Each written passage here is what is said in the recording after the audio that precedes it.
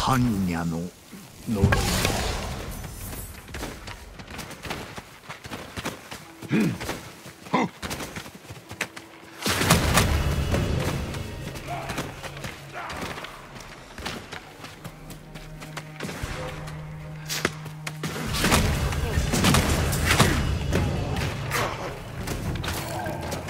鬼の犬がクロードの匂いを嗅ぎ当て遠吠えを上げてあ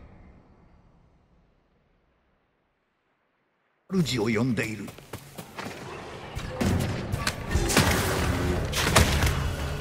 闇がな意を殺めたかに見えたがただの思い違い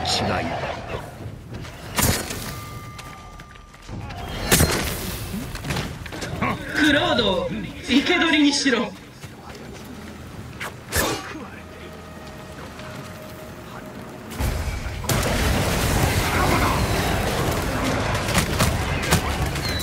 鬼は全て倒されその宝はクロードの手に渡った。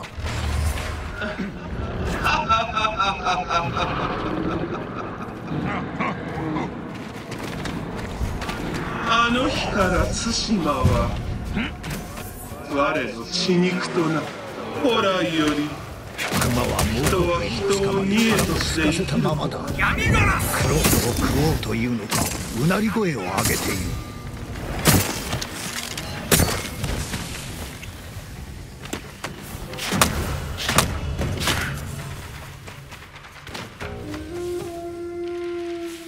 わしの巻物ではないか。なくしたはずの。イオの思惑を止める手立ては一つしかない。その魂を食われる前に僧侶たちを救うことだ。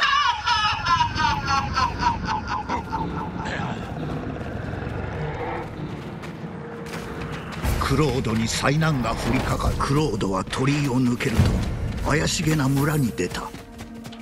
その光景に思わず息を飲む。道の先から数えられぬほどの鬼がこちらに向かって奴らの狙いは一つクロードの首だ。地獄に落ちろ。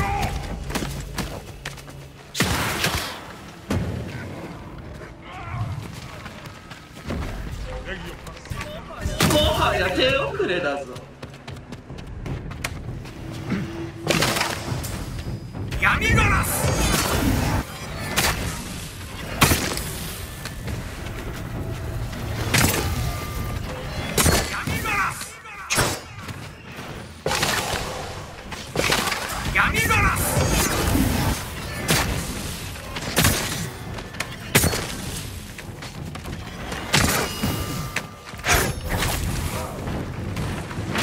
捕虜の体は無事であったが魂はとうに食われていた。捕虜の魂は救い損ねたがイオの分身を打ち倒し税を退けた。イオの声はもう届かない。なれどイオは敗れたのか。もしくはすでに他の地へ狙いを定めたのだろうか。